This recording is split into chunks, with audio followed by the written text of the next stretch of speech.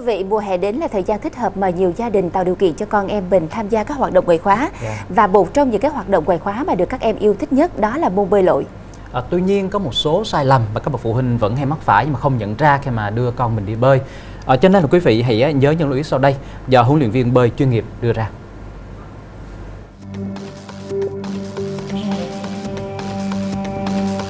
Các phụ huynh em nhỏ thường bỏ qua việc quan sát các biển báo tại hồ bơi. Tuy nhiên đây là một sai lầm rất lớn bởi các biển báo chính là thông tin thiết thực nhất về mức độ nguy hiểm và an toàn của hồ bơi. Chính vì thế điều đầu tiên cần phải làm khi tới hồ bơi chính là quan sát biển báo.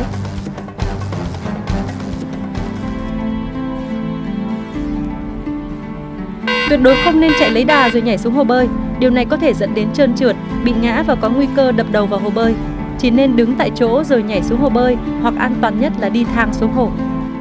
Hồ bơi thì hầu như là bây giờ là người ta lót gạch và gạch men.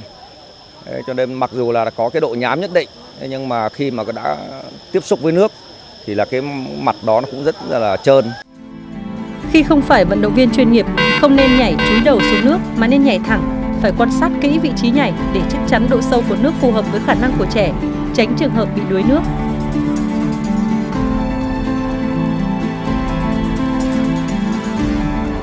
Sử dụng phao bơi hình tròn có nhiều nguy cơ bị lật phao hơn các loại phao khác.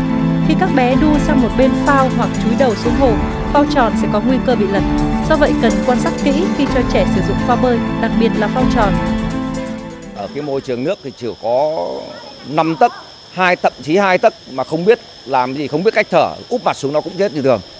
Thì đấy là đấy là cái, cái ở cái môi trường nước nó nguy hiểm như vậy.